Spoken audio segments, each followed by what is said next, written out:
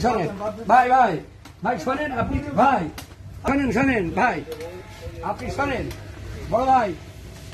বড় বড় ভাই, শোনেন ভাই। ভাই, কথা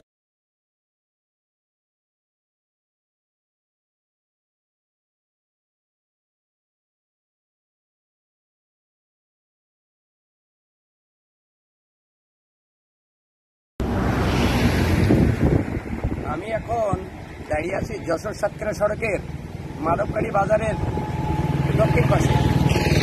আপনারা দেখছেন, এই ভাটাটির নাম হলো ঠিকানা ভাটা। এখানে তিন ফসলের জমি ছিল।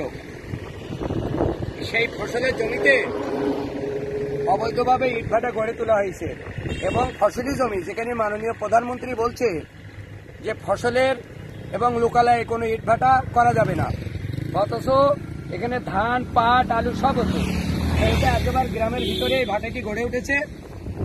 উঠে এখান থেকে পরিবেশ এবং আবার কৃষিতে ব্যাপক ক্ষতি সাধন করছে। আরেকটি গাছ দেখেন, সাতক্ষীরা বন বিভাগের কর্তৃক এটা উপকারভোগী সমিতির গাছ লাগানো। এই গাছটি হত্যা করা হয়েছে। এই ভাটার মালিকের লোকজন এখান থেকে কেটে দিচ্ছে এখান থেকে মাটি ফেলার সুবিধার্থে এই গাছটি কাটা হয়েছে। আমরা এ বিষয়টি এছাড়াও সামনে আরও দুটো ঔষধি গাছ, বিশেষ করে নিম গাছ, কেটে তার উপরে বালি ফেলা হয়েছে। আপনাদের দেখাবো, আপনারা সামনে সেটা দেখেন যে এই জায়গায় আপনাদের আমরা দেখাবো যে এখানে একটা নিম গাছ ছিল। নিম গাছ, এখানে বড় নিম গাছ ছিল এরকম, আর এখানে একটি নিম গাছ ছিল।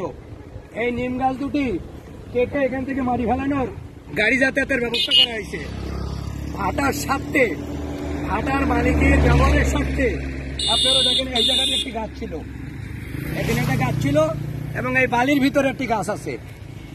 গাছের গোড়া আছে। এই গাছ, তিনটি গাছ, নিম গাছ হত্যা করা হয়েছে। এই ভাটা মালিকের বিরুদ্ধে দ্রুত ব্যবস্থা গ্রহণ করো ঠিকানা এবং এই লোকালয়ের ভিতরে যে পরিবেশ, মাটি, মারাত্মক আকার ক্ষতি করছে। গাছ হত্যা করার বিষয়টি আমি মুঠোপনে সদর এসিল্যান্ড আসাদুজ্জামানের সাথে সাহেবের সাথে যোগাযোগ করে এ বিষয়টি তাকে অভিহিত করেছিলাম। যে গাছ, বন বিভাগের গাছ কাটা হচ্ছে, মাটি কেটে অবৈধভাবে মাটি কাটা হচ্ছে এবং ড্রাম পার্ক যেটা সড়কে চলাচল নিষেধ, সেই গাড়িটি চলাচল করা হচ্ছে।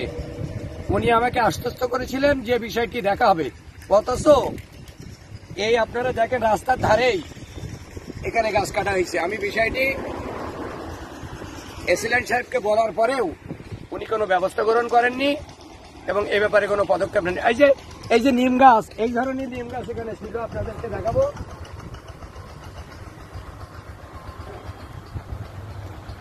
এই ধরনের নিম গাছ, এই ধরনের এখানে নিম গাছ। এই নিম গাছের মধ্যে এখানে দুটো নিম গাছ ছিল। সেই দুটো নিম গাছ হত্যা করা হয়েছে এবং পাশে একটি শিশু গাছ হত্যা করা হয়েছে। এই গাছ হত্যাকারীদের বিরুদ্ধে কঠোর ব্যবস্থা করার জন্য যে ক্লিন সাতক্ষীরা, গ্রিন সাতক্ষীরা গড়ার জন্য জেলা প্রশাসক যে উদ্যোগ গ্রহণ করেছে, তার একটি অংশ মনে করি গাছ লাগান। এই গাছ যারা হত্যা করেছে, তাদেরকে দ্রুত বিচারের আওতায় আনা হোক এবং বন বিভাগ এই বিষয়টি জরুরি ভিত্তিতে ব্যবস্থা গ্রহণ করুক, সমাজের হলে এটাই মনে করে। এই বিষয়টি গুরুত্বের সাথে দেখা হোক।